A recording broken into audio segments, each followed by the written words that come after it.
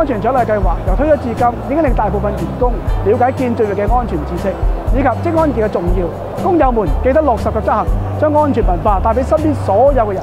Leighton Contractors Asia Limited is pleased to be awarded the Gold Prize for the subcategory of civil engineering sites. Safety is a first priority. We are committed to a working environment where everybody goes home safe each and every day. We strive to achieve this by implementing an effective safety management system with the aim of minimising work accidents. We're providing demarcations of pedestrians and vehicles, designated walkways. In lifting operations, the experienced and trained lifting supervisors and signalmen are employed to plan and supervise the activities.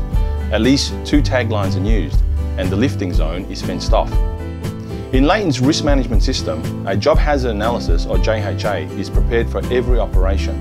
The JHA is a simple pictorial and bilingual document used by our frontline supervisors to communicate our work sequence, risk and remedial measures directly to a workforce. This field control briefing is conducted prior to commencement works to ensure everyone knows what they have to do to keep themselves from harm's way. For the construction of Bridge B, we're implementing the construction design management. We designed a prefabricated steel platform that could be installed onto the existing bridge pierheads to enable falsework to be installed instead of using traditional scaffolding from ground up. This greatly reduced the amount of working at heights and deleveraged the risk profile for the entire activity. In essence, we engineered the problem away. We'll continue to hold ourselves to higher standards for health and safety and seek to strive for a latent, incident-free environment, or being simply safe. Thank you.